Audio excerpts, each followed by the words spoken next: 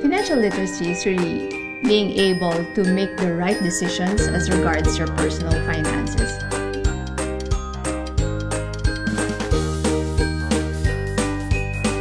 FQ's Financial Intelligence Quotient. It is your ability to make sound decisions as regards your personal finances. I think it is very important for everyone because nobody can escape from the reality of using mom is someone who believes that raising her children with high FQ or financial intelligence quotient is very important.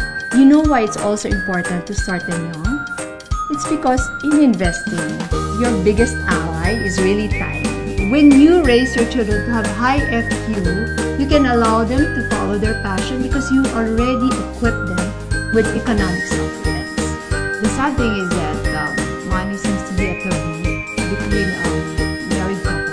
It should not be a taboo topic. Three basic rules of money. Pay yourself first. Whatever comes in, you have to decide that something has to be set aside. Setting aside is really setting aside for your future self. Get into a business that you understand, and you should only ask for the advice of competent people. Make your gold work for you. Is not just a set of skills, it is a value system.